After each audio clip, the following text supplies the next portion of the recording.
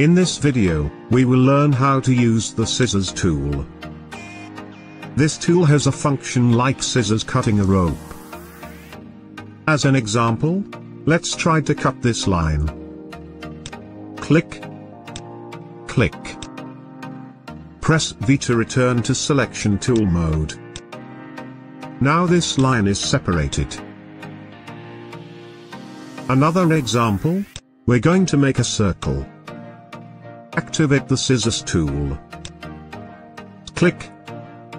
Click. Press V.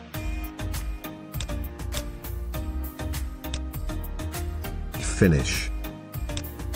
Okay. If you like this video don't forget to click like. So YouTube will recommend this video to other friends.